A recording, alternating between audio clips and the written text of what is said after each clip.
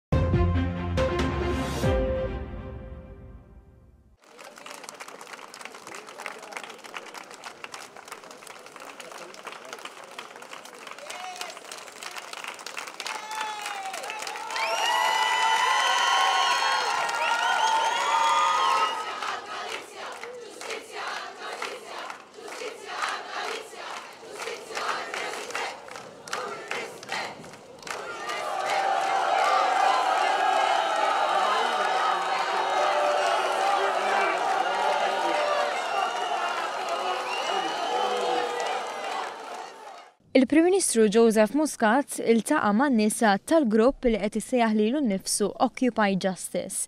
Quddiem il-media qraw diskors li kien miktub minn qabel, mimli attakki fil-konfront tal-istituzzjonijiet ta' pajjiżna u qalu lill-Prim Ministru li hu awtokratiku.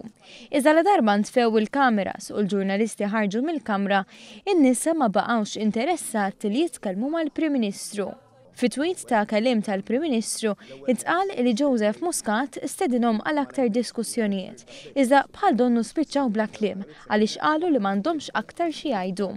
Matul il-laqgħa l-Prim Ministru Joseph Muscat reġa' tenna il-kundanna bla preċedent għall-qtil tal-blogger Daphne Caruana Galizia. Huwa ma qabilx mat-talbiet t'Occupy Justice li jitneħħew l-Avukat Ġenerali u l-Kummissarju tal-Pulizija. Inkunu qegħdin niksru r-rule of law għax m'hemm l-ebda tip ta' bażi, ngħid jien, la politika, la morali u fuq kollox legali biex dan isir. U jien hawnhekk dmiri huwa li mhux min jgħajjat l-iktar jirbaħ. imma fil-verità dak li nemmnu fih jirbaħ.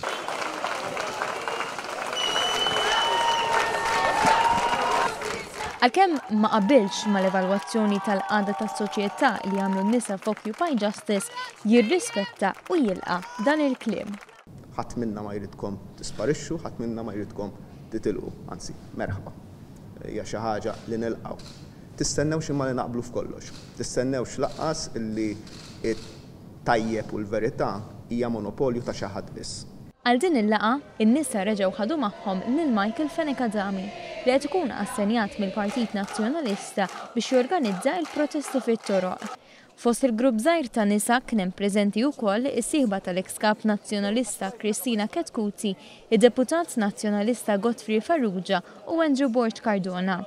Intant, fi stqarrija b'reazzjoni għal deċiżjoni tal-Qorti t-Tlieta li ddeċidiet kontra l-Gvern fuq punt tekniku legali dwar il-kompożizzjoni ta' Bord tal-Pulizija, il-Gvern qal li huwa proprju għaliex teżisti r-rule of law f'pajjiżna, li l-Qorti tista' tiddeċiedi kontra l-Gvern, sostna li dan juri kemm l-istituzzjonijiet f'pajjiżna huma b'saħħithom u jaħdmu mingħajr ebda indħil.